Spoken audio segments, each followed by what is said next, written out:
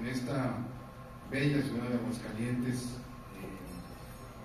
a partir del de, el día de ayer que iniciamos con una recepción, un, un cóctel en el ayuntamiento de la ciudad, el Palacio Municipal, eh, para eh, llevar el día de hoy a cabo una asamblea extraordinaria de nuestra eh, de nuestra Cámara, en la cual haremos una actualización de los estatutos, de los artículos de nuestros estatutos.